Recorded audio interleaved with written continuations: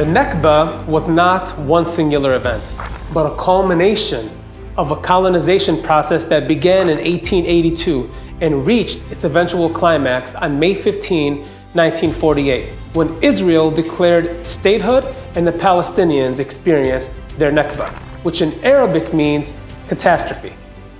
The Palestinian people were not only dispossessed and ethnically cleansed from their homeland, but were effectively denationalized.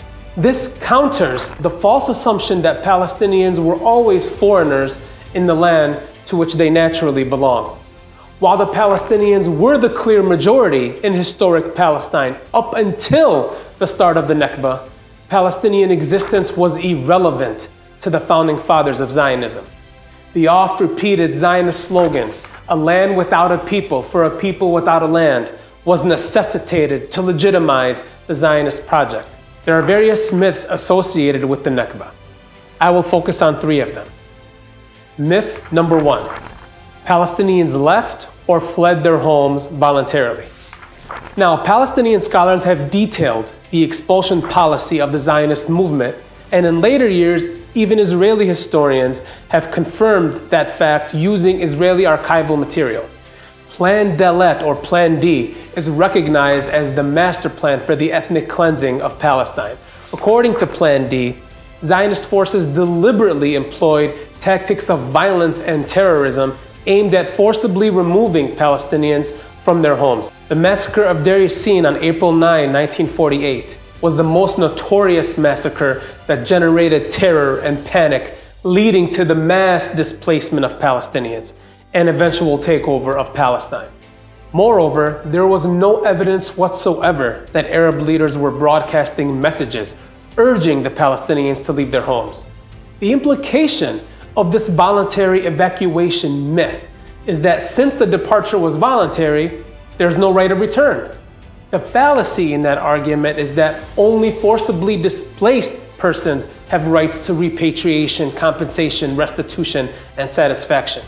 The Palestinian right of return is not diminished in any way, regardless of the circumstances under which they left their homes.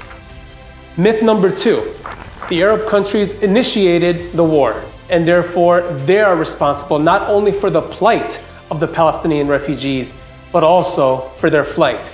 Now, this myth relies on the notion that the refugee problem was the result of the Arab invasion. In fact, the opposite is true. It was the ethnic cleansing that caused the Arab invasion. Approximately 350,000 Palestinians were made refugees before the Arab invasion. The goal of this myth is to shift responsibility onto the Arab states as a basis for denying the refugees the right to return to their homes, and to claim that it is the responsibility of the Arab states to absorb the Palestinian refugees by resettling them in their host countries rather than repatriating them to their home country. Myth number three since Jews left Arab lands and Israel absorbed those refugees, Arab countries should do the same with respect to the Palestinians. This is popularly known as the population exchange myth. This is a Zionist talking point favorite. The problem with this argument is twofold. First, it's factually untrue. And second, even if it is true, the Palestinians are not the perpetrators and therefore not responsible. The process of Jewish absorption into Israel was motivated mainly by personal choice and based on individual circumstances rather than the collective Jewish community. They emigrated for various reasons, depending on the country, the time, the community, the economy, and in some instances, Zionist provocations, as in Iraq. So, in one case, the Palestinians, you have dispossession in the Jewish case, it was mainly emigration. The Nakba rests in the collective memory of Palestinians worldwide, in contrast to the Holocaust Museum in Jerusalem, where Jewish lives are remembered and memorialized. There is still no central collective database for Nakba victims. However, we will never forget the land. We will never forget the richness of our history and the beauty of our landscape. We will never forget.